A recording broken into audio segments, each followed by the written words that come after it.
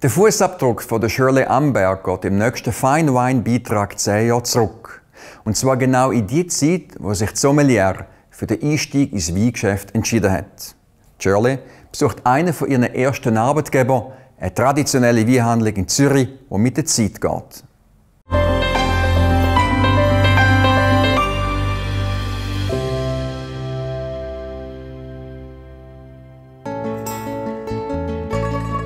Die Weinhandlung an der Zeughausstrasse 67 in Zürich ist für mich wie ein Stück Heimat. Da beim Nicola Matana habe ich fast drei Jahre lang gearbeitet und so einen wichtigen Einblick in die Welt des Wein Made in Italy bekommen. Hey, glaub das nicht. Ciao, Sire. Herzlich willkommen in deinem Shop. Ja, lange nicht mehr. Der Nicola ist ein leidenschaftlicher Sommelier, der seit über zehn Jahren in der Buonvini Weinhandlung arbeitet. Wenn wir in den Garten... Ja, Willst du etwas Kühles trinken? Ja, ein bisschen sardisches Blut.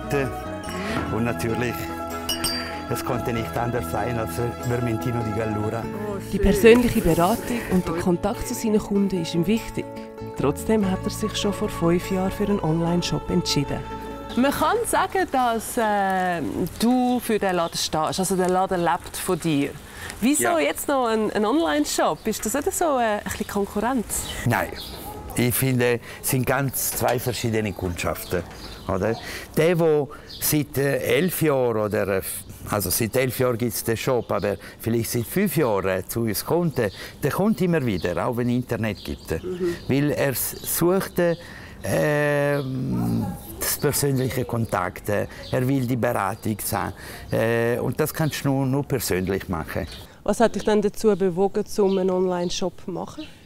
Weil äh, sicher der Trend ist, du bist halt äh, ersichtlich in der ganzen Schweiz. Der kann äh, der Kunde, der sucht, äh, eine Rarität aus Genfen, kann problemlos äh, in zwei Minuten bestellen und dann hat er zwei, drei Tage die Heime oder aus St. Gallen oder aus Basel oder aus Lugano, ohne extra auf Zürich fahren.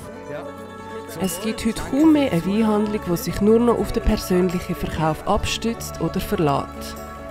Der Onlinehandel mit der Rebensaft boomt. Softwarelösungen für einen eigenen Online-Shop gibt es heute für wenig Geld. Eine Entwicklung, die der Vollblut-Sommelier nicht nur gut findet.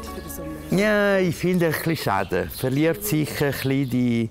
Es ist so schön, wenn ich die Leute vor mir habe. Weil dann verstehe ich sofort, was sie wollen. Am Telefon geht es einigermaßen. Aber im Internet es ist anonym, also es ist ein Weg.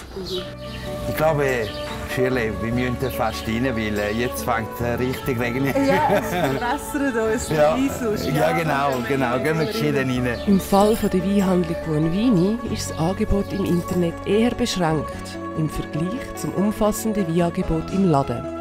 Es hat für jeden Gaumen und für jedes Budget das passende Tröpfchen. Denn die Nachfrage nach italienischem Wein steigt ständig. Seit 2003 oder 2004 ist Italien am ersten Platz. Zum ersten Mal in der Geschichte hat Frankreich überholt. Und seitdem hat Frankreich nie mehr seine Lieder Platz gewonnen. Also es ist Italien Nummer eins in der Schweiz. Und auf was ist das zurückzuführen?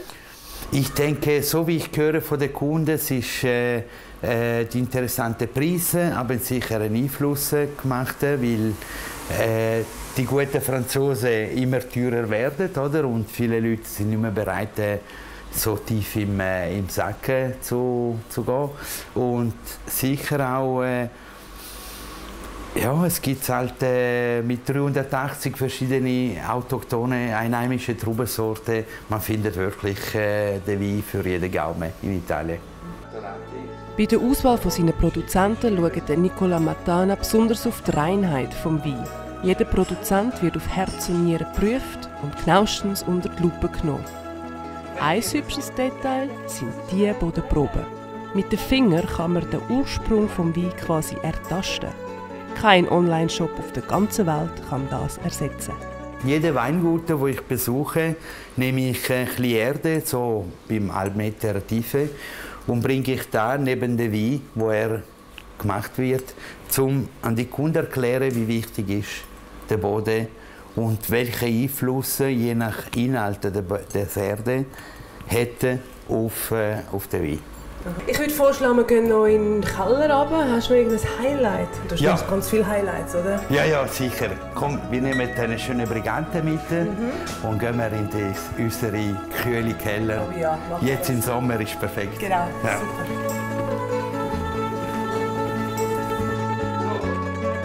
Degustieren übers Internet ist definitiv auch nicht möglich. Ich komme in den Genuss von einem Pinot Noir 2005, ein Wein, den der Nicola seinen Kunden gerne empfiehlt.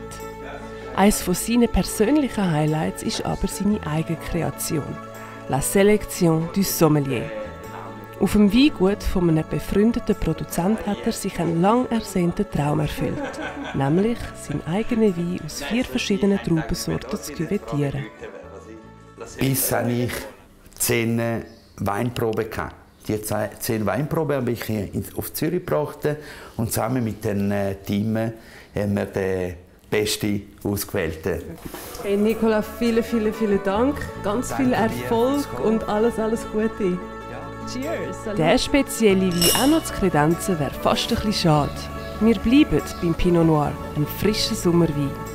Ich bin sowieso bald wieder da und freue mich auf La Sélection des Sommelier, wo übrigens auch online bezogen werden kann.